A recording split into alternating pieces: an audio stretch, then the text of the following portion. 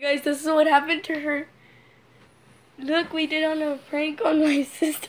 Tickled her the vents when she had shaving cream on her hand.